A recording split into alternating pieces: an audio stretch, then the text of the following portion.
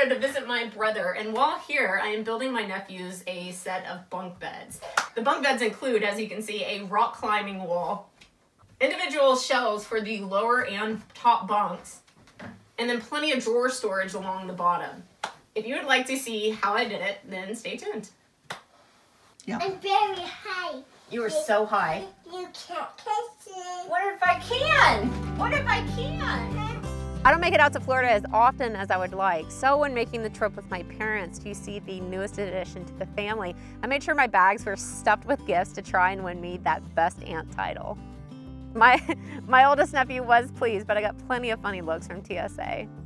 So I actually did the design for the bed on the plane ride over so that as soon as my boots hit the ground, we could jump in and start building. If you have time, it is a tremendous time saver to paint all of your boards before you start building. I was limited to two days, so after one side got two coats and was dry enough to touch, I started cutting. Now I do have a set of plans, link for you down below if you're interested, which comes with not only a material shopping list, but also a full cut list. This also saves a great amount of time as I could make all of the cuts needed at the same time for the boards that make up the two main bed frames and the two side assemblies that connect the beds. We had a full family operation going on. After I made the cuts needed, I pulled out my Armor Tool self-adjusting jig and showed my dad how to drill in pocket holes in the needed boards. While he continued to drill pocket holes, I continued working down my cut list to get boards to their needed length.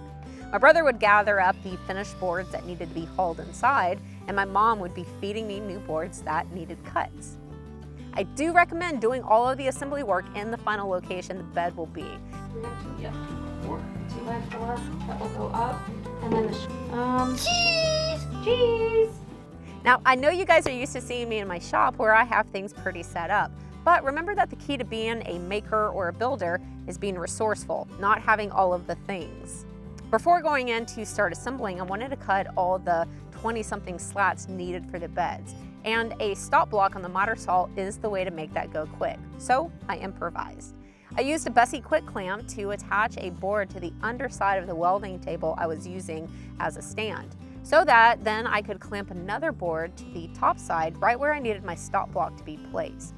And now I'm able to lay my new board down, slide it down until it runs into the stop, and then make my cut without measuring. We once again got into a cute family groove where dad would feed me new boards and my mom would take the cut ones while my brother moved in the piles. All right, let's move in and start assembling. Let me introduce you to the most adorable apprentice I've come across. Then we're gonna use the drill. Yeah, And it's gonna be really loud. Not that loud. I am starting with the frame for the bunk beds, and since Noah was so interested in being a part of anything I was doing, I tried to include him. He loved just sitting and watching, but he also loved being tasked with things like getting screws or pushing on the drill. By the way, if a whole box of screws go missing, check the local dump truck near you. Before setting that aside, I glued and then screwed on a ledge that the slats will later rest on top of. Since this is an inside project, I used Titebond Original for the majority of connections. All right, setting that aside so that we can build the two side assemblies. This was going to require multiple hands, so I brought in some sawhorses just to keep my folks up off the ground. We first attached some blocks that will act as ledges for the bed frames to rest on. Then moving up to the top of the sides, we also attach what will later be the header and footer of the top bunk frame. Another tip is to use a countersink before driving in the screws. This not only creates a pilot hole to prevent cracking, but also creates a divot in the wood for the head of the screw to sit below the surface. While my mom helped hold things, my dad would countersink, then I would follow him with screws. After repeating to make another side, I was ready to start attaching things together. If you have two people to hold the sides, then it's really as simple as placing the bottom bunk right on top of the ledge blocks put into place earlier. So putting the frame together, I used wood glue, but when attaching the frame to the sides, I'm only using screws. And this is so it can be disassembled and moved in the future. Once it was attached on the four legs, we dropped in the slats, just spacing them apart by eye. And while my brother went through to countersink, I drove in the screws.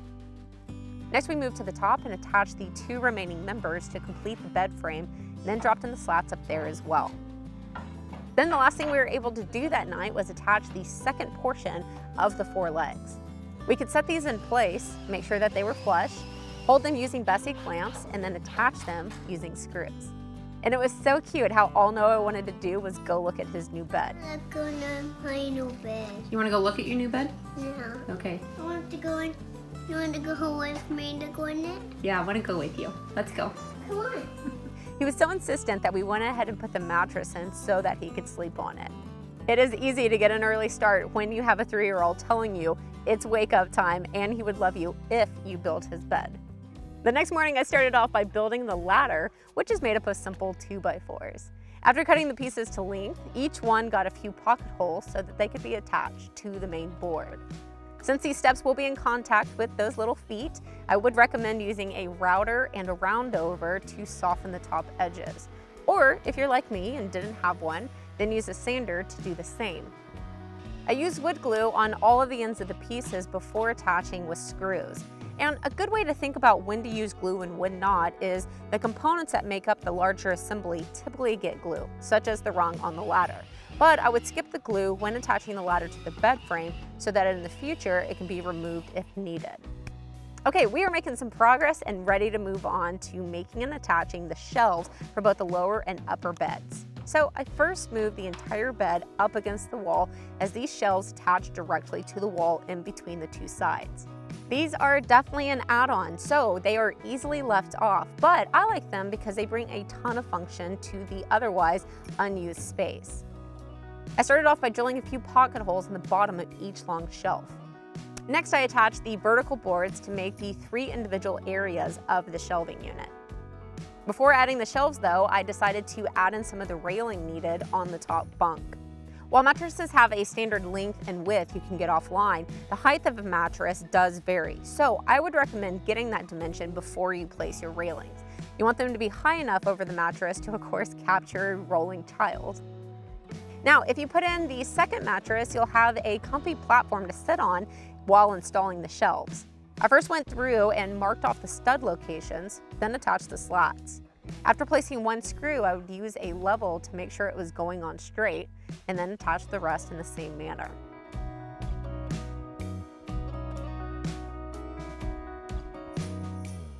Thank you, Mom, for cleaning my lens while I'm recording. After getting the backer boards attached, now the shelving unit we built before can be added. These are simple to be attached since all the pocket holes are already drilled and the unit can be lined up to the back boards. And of course, the shelf sizes can easily be changed. I just thought this arrangement looked nice. Okay, a little touch-up paint and then to the top bunk to repeat. Before getting to the really cool add-ons, let me go ahead and talk about this video sponsor, which is Vessi. Vessi is a company that makes a 100% waterproof knit sneaker that you can wear through any weather and keep your toes dry.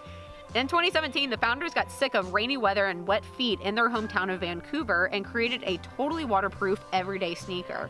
I wear boots in my shop, but at the end of the day and on weekends, I like to wear a more lightweight shoe. So when Vessi sent me the lightest waterproof sneaker in the world, I knew I found something great. Even though they keep the water out, they're breathable as the patent material lets the sweat and heat escape. Vessi uses a Dyma-tex material, which is also the first dual climate material. It regulates temperature so that in the winter your feet are warm, but in the summer heat escapes. They also have a grip for all weather, which is designed to provide traction whether you're like me and trekking out to let your chickens out or you're caught up in a storm. I'm thrilled to have a shoe that's not a work boot, yet keeps my feet dry and gets me around on my property or even running errands. If you're ready to experience the world's first 100% waterproof knit shoe, then you can visit VessiFootwear.com slash April and get 15% off your first order. Big thank you to Vessi for supporting what I do.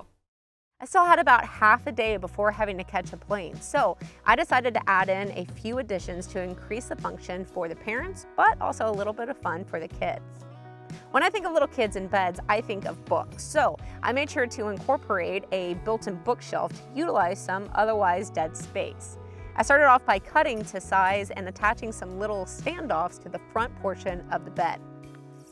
I couldn't use screws to attach these, so instead I used a really powerful Titebond adhesive. I applied some to the back of all of the blocks, then held it in place with clamps for a few minutes to dry while I went outside and ripped a few more needed boards to length and width. Two boards can be added to the standoffs to create railings that will later prevent the books from being able to fall forward. Easy enough, huh? It doesn't hold as much as a bookshelf, but you can at least place the children's favorites within reach. I'm gonna go ahead and apologize right now for the upcoming footage. I didn't have a lot of lighting and it was a really difficult shot to get my tripod here, but you'll still see how next I built a really fun rock wall on the side of the bed. I originally thought to add a solid sheet of plywood and paint some cool design on it, but I didn't like the idea of cutting off visibility completely to the bottom bunk for my brother and sister-in-law, so I added in some slots instead. This still gives me plenty of surface area to next attach the hand and foot holds that will make up that rock climbing wall, but also leaves some visibility so that they can peek in from the door and put eyes on their boys. And it probably won't surprise anybody that this was Noah's favorite feature.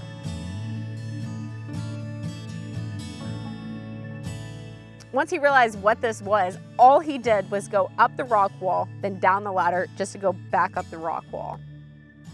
All right, and then the last feature I tried to include was adding drawers to the bottom of the bunk bed. There is so much wasted space here that drawers are perfect. I did some simple drawer assembly using Quick and Fit and a brad nailer. Since my brother has carpet in the room, the drawers don't have casters on them, but rather will slide on top of the carpet. If you have tile or hardwood, then shortening the drawers is simply an adjustment so that you can add casters. I was really pushing my limits on needing to get to the airport, so I wasn't able to put handles on the drawers, and there is some touch-up paint needed, but my brother can handle that. All in all, I don't think that is bad for two and a half days worth of work. Not only that, but I love how involved the entire family was, especially Noah. I had no idea that a three-year-old could be so involved in such a build. Two more screws. Okay, I will get one more two screws. One more two screws. Here, Noah, put these screws in those holes. Pointy sign down.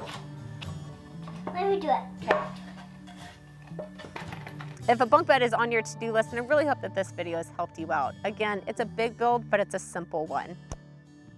I personally love how you can build it and they're gonna get so much use out of it for years. If you would like a set of plans, then know that I have it over on my website. They come with a material list, a cut list, and all of the dimensions I used. If you have any questions about what I use, then please check the description and I'll see you on my next project.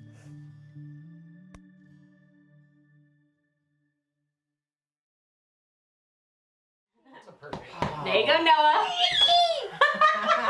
but you have to put on the letter first. yes, tomorrow. But no, you do it to now. No, I don't do it now. I go to bed now. No. Yes. You do it now. You do it now. You want to put this bed up there? Yep, I want to put that bed up there. You think you can fit me up there? I think I can fit you up there just fine. Okay. Okay. Oh. I'm sorry. I'm sorry. that's that's funny. That is funny. But I know, but I know it's funny. You do? Yeah. I don't need to tell you. Yeah. Oh, it's tiring, isn't it? That's tired. You want to climb your rock wall? Sure. Okay.